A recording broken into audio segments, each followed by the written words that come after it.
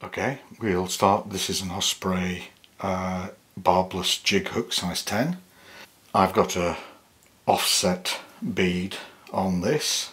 I've got sheer 40 knot black.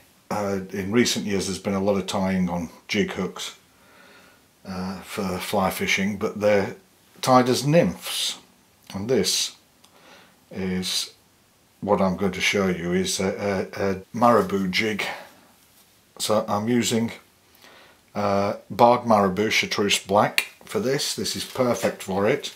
Firstly what I do is I take a short length of lead wire and I put it place it flat on a hard surface and I use half of my uh, one of my hair stackers and I roll it releasing pressure very hard pressure at the end and then releasing pressure as I go so you get a taper if you can see that on the lead wire. So what we'll do first is I'll just place that lead wire on the jig hook there. It's very important a jig hook is designed to give a jigging effect. And we'll just remove that now. And it's very important that the weight is correctly distributed in order to create that jigging effect. So what we'll do is we'll just tighten up that lead wire now. There we are. That'll do us for right now. I'll attach my tying thread. Go over the end of the lead wire to hold it in position. And we go back. Remove that. That's good.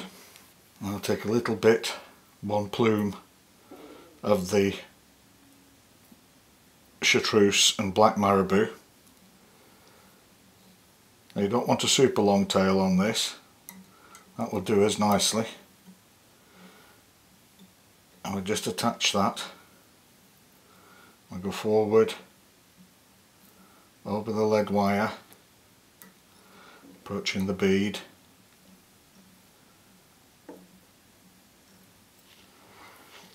that's good and then I'll just trim this off like so. Come in again.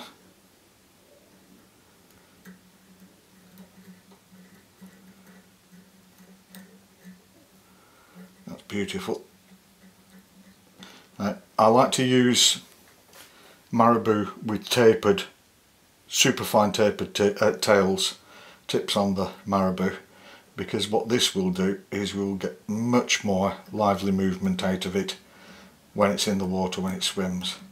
So we go up here now and then I've got a short length of black chenille of which I just want to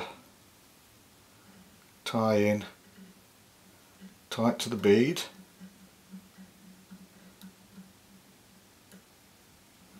and we go a few millimeters back. Keep your tying thread at the front.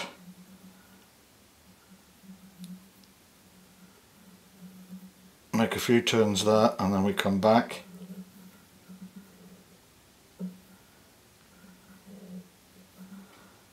And we can go forward again.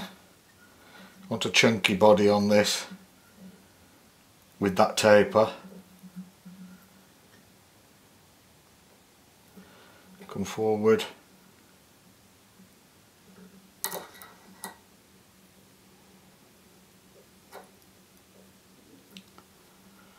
I don't like to put any flash